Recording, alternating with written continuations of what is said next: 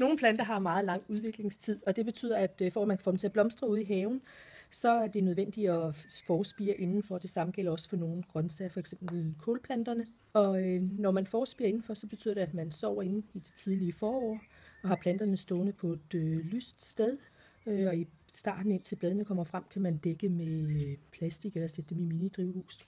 Når nu øh, planterne er vokset godt til, som her, så kan man se, så er de ved at være knip med pladsen til dem. Og så skal de helst prikkes ud, som det hedder. Og det vil sige, at de faktisk bare skal plantes om, så hver enkelt plante får tilstrækkeligt med plads. Så har jeg taget planterne op af den der bakke eller potte, de har været sået i. Så øh, tager man lige så forsigtigt og deler planterne.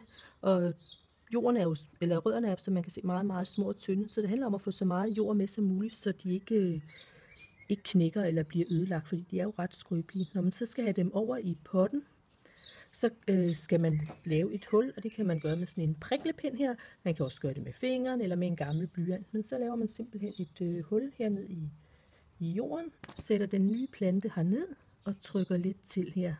Og så kan den stå her og øh, vokse godt til, og øh, nu er der valgt sådan en potte, der rimelig stor, så her vil planten kunne stå indtil den er klar til at blive plantet ud omkring 1. juni. Hvis potten er pænt stor, så kan der måske være to planter hernede.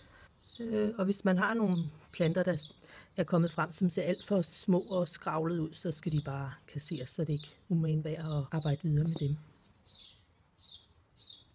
Og trykke lidt til, og så skal man øh, øh, vande her igen her umiddelbart efter de er blevet plantet om, øh, så de hurtigt bliver godt etableret her i øh, urtepotten.